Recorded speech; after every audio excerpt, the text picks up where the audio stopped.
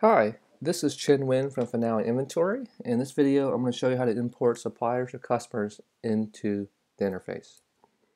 So first, let's open up Excel. So I created this test file, and this is kind of the, some of the information you would you would typically import uh, for your customers or suppliers. Uh, I just created some sample data: the name, street address, um, email, and phone number. One of the things that you should be aware of is that Finale, there is no um, fixed format, so it's really flexible for you to create products in. So let me kind of show you how you do that. First thing is you import um, these four rows in here, uh, the, the, the, three records and also including the header row, and you just paste it in Excel. So once it open up Finale, um, first you go on to import and export here and you find the right import. So in this one, it's going to be import to batch and create update suppliers.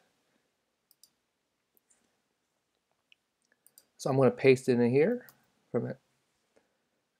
And essentially, you know, if we see a if the header field in Excel matches one of the supported names here, and you know we have a lot of preset fields, but also you can add custom fields, it also automatically makes that assignment.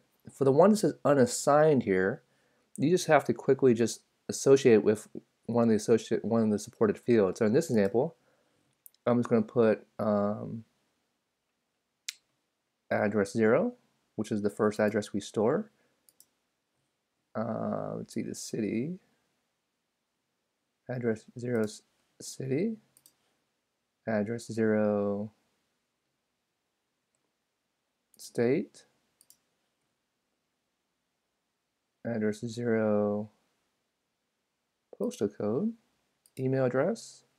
Yeah, very similar. We store multiple email addresses, so I'm just going to put the first one, email address zero, and lastly, phone number. So it's going to be phone number zero.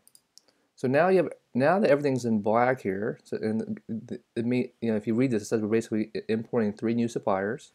Now we're all set. If you hit next, you know it's as easy as that. Hit commit, and now you're finished. So now if I go to my, if I go back to home and kind of show you where it's at, if I click on view suppliers, now I see the, the, the ones I imported. You know, Sunshine Pools, uh, Red Rock, and I believe it's Glacier Supplies. So that's how you uh, import suppliers. And for customers, it's the exact same process.